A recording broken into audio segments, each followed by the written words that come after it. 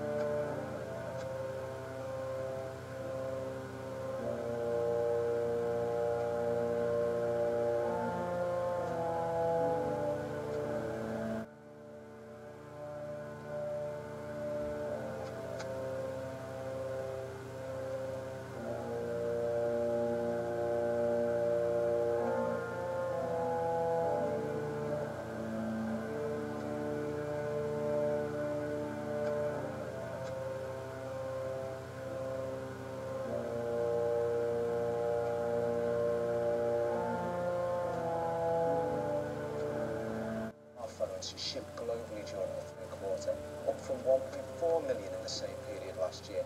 But Apple is also increasing its worldwide market share. The person who isn't increasing its share though is RIM. So the sense that I'm getting here is that maybe, just maybe, Google's Android OS and the Apple's iOS starting to crowd out RIM.